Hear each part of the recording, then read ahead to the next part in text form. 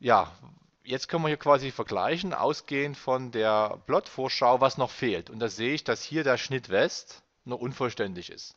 Da fehlt noch einiges. Und der Grundriss ist schon mal fertig, dann brauchen wir nichts mehr dran machen.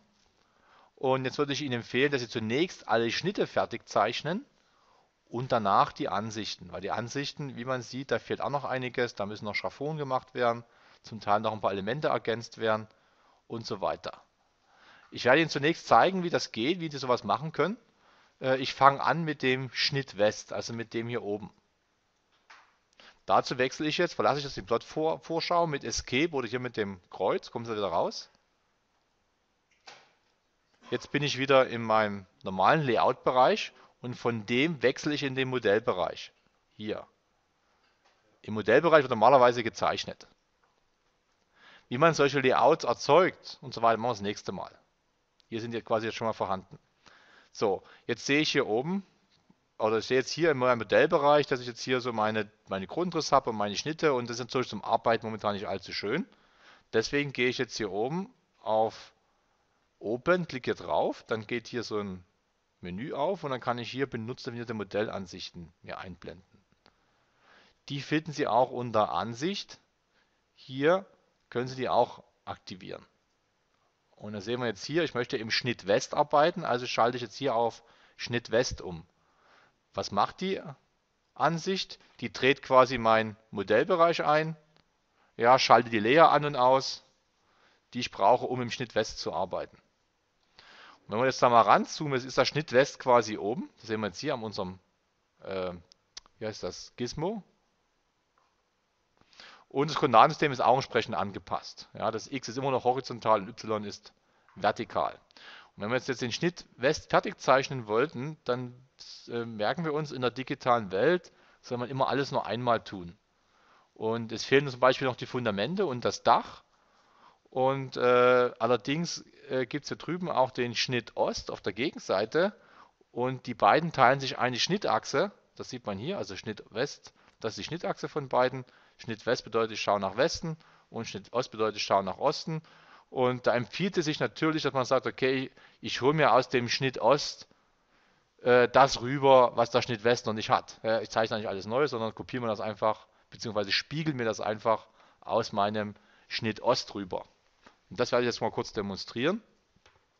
Zuvor, damit ich in meinen Schnitten arbeiten kann, muss ich erstmal alle Layer entsperren. Wenn ich mit der Maus so drüber fahre, sehen Sie das, da kommt immer dieses Schlosssymbol, weil meine Layer gesperrt sind. Das mache ich im Layer Manager, gehe jetzt hier rein, gehe jetzt hier auf meine Schnittfilter, dann rechte Maustaste, Sperre, Sperre aufheben. Damit habe ich komplett meine Layer für die Schnitte quasi freigegeben zum Ändern. Gehe jetzt hier raus, und möchte im Prinzip jetzt hier die Fundamente mir rüber kopieren und hier den Dachaufbau aufpassen. Das nicht. Warum? Das gibt es hier oben schon. Damit ich eine doppelt habe.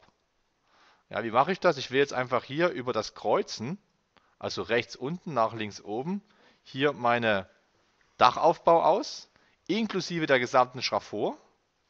Einmal. Und hier unten noch die Fundamente, die mache ich einzeln, damit ich diese Linie nicht erwische hier.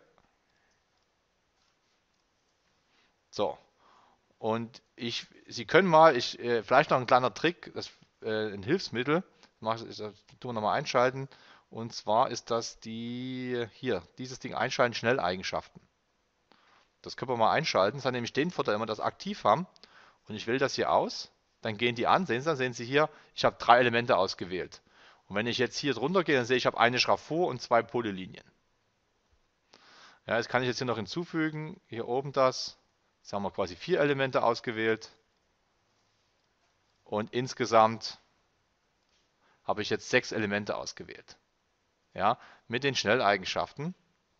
Und wenn Sie das erweitern, dann sehen Sie, was, was da drin ist. Eine Schraffur und fünf Polylinien. Und jetzt möchte ich das Ganze quasi rüberspiegeln.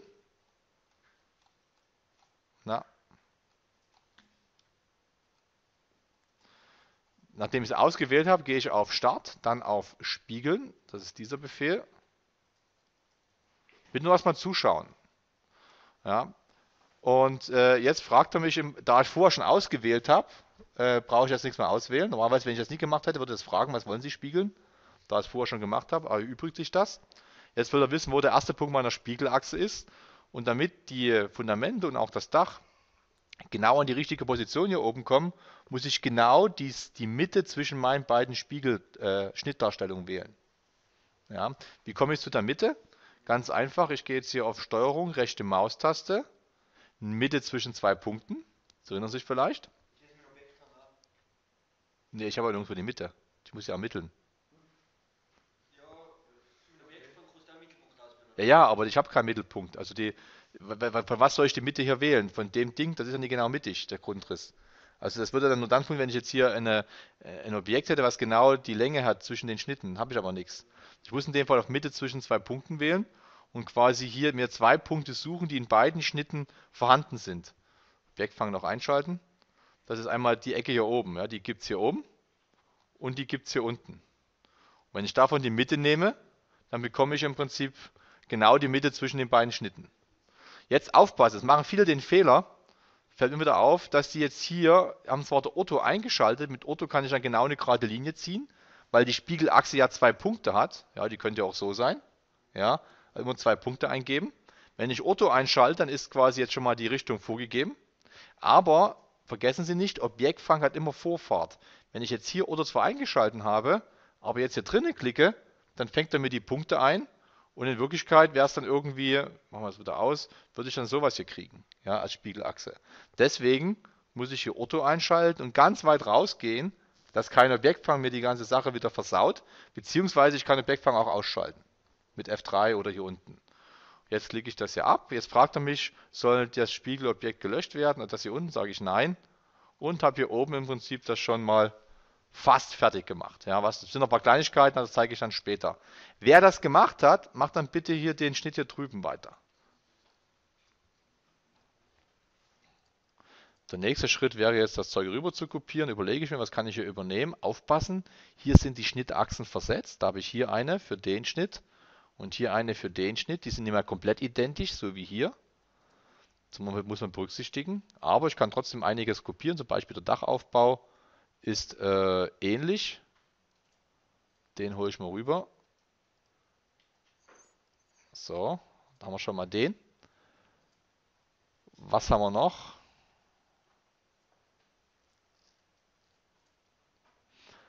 Dachaufbau haben wir. Äh, dann können wir hier noch die, Wand, die Wände mitnehmen, also diese hier. Und diese.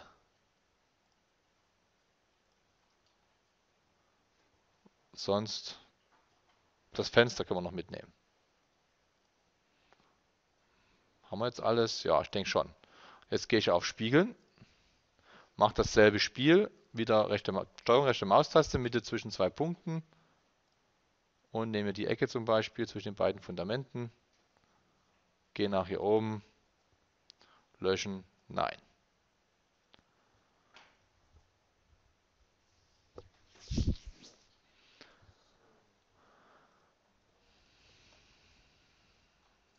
Ich äh, mir irgendwie woanders klauen kann, möchte ich jetzt hier noch den Rest ergänzen.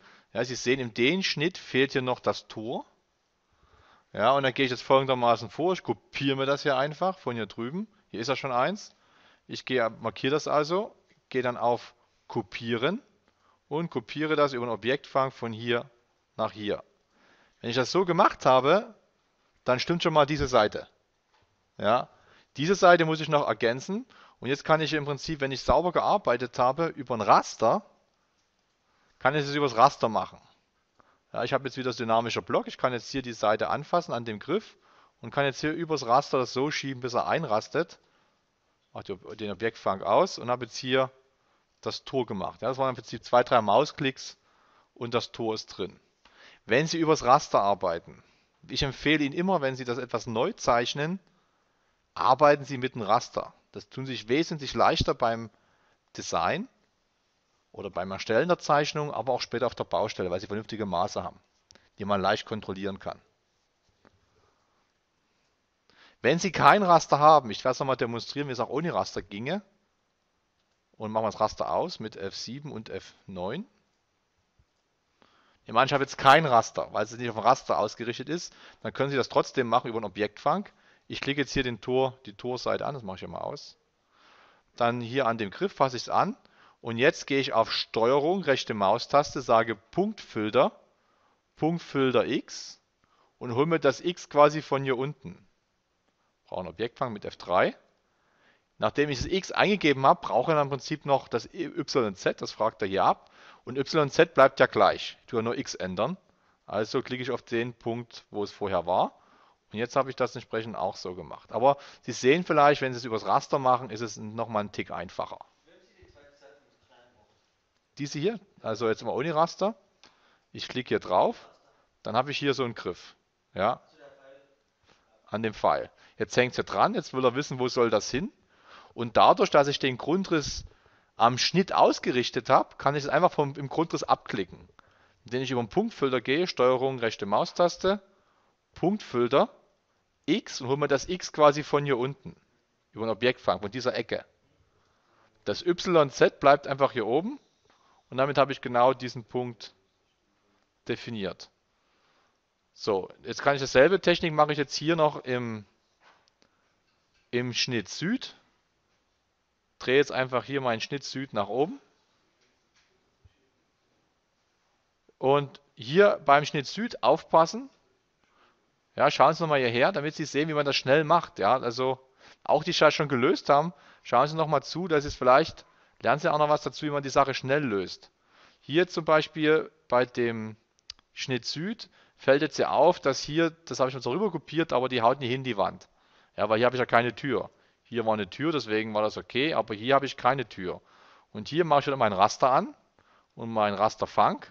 Klicke jetzt hier oben auf die Polenlinie, fasse den Punkt an, schiebe den hier runter, mache noch meinen Objektfang aus, mache das nur übers Raster, setze den jetzt hier ab. Diese Punkte entferne ich. Einfach drauf zeigen, Scheitelpunkt entfernen, Scheitelpunkt entfernen. Fasse den Punkt an und schiebe den hier runter. Und die Wand ist fertig. Jetzt könnte man hier noch den Schraffur noch hinzufügen. Und ansonsten haben wir, haben wir glaube ich, alles. Das Fenster haben wir, das Fenster, die Tür bleibt gleich. Ja, Sie sehen, wenn Sie das geschickt machen, ist das relativ schnell erledigt, die Geschichte.